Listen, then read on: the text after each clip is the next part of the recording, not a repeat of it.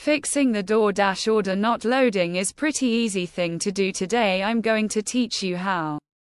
You can fix your DoorDash order is not loading well there could be several reasons I'm just going to tell you some of the things which you need to keep in mind and check those things and your other.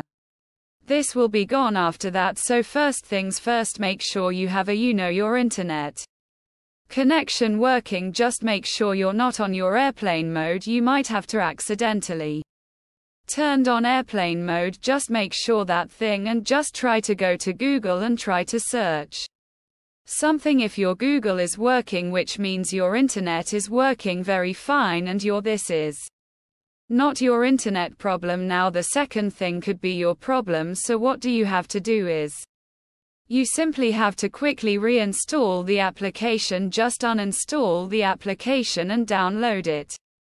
Again and there you go your order should be there however there could be a different error as well. That you might have accidentally you know switch your account or change into a different account. Just make sure you're using the same account with which you placed the order with now after confirming things if there does not come or does not resolve you should just come to DoorDash.com and log in with your account here and you will be able to see your order and your eye should be gone. So that's pretty much it. That's how you will be able to do it. Hope you guys find this video helpful